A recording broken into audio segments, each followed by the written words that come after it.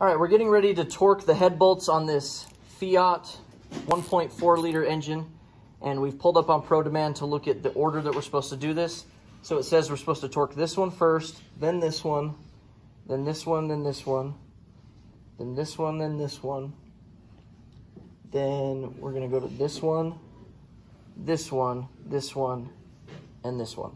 And it's four steps. The first time we gotta torque all of them to 15 foot-pounds. Then we gotta go back through, torque them all to 20 foot-pounds. And then we're gonna turn them all 90 degrees, and then we're gonna go back through and turn them all 90 degrees again, okay? So it's kind of a, a process here. And for our foot-pound measurement at first, that 15 foot-pounds pretty small. We're actually gonna use an inch-pound torque wrench for this. So we've multiplied 15 by 12. We're gonna tor torque our first round to 180 foot-pounds. So like I said, we'll start here. Okay, I've now torqued them all to 15 foot-pounds or 180 inch-pounds. Now we gotta go back through and do 20 foot-pounds, which on our inch-pound torque wrench is 240. So we'll go ahead and readjust that.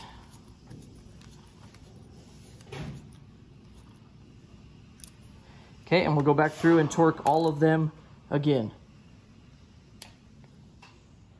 All right, we've done our second pass on all of these bolts. Now we're gonna use this torque wrench by Snap-on that measures angles. So we're gonna do 90 degrees on all the bolts again. And so let's go ahead and do our third pass.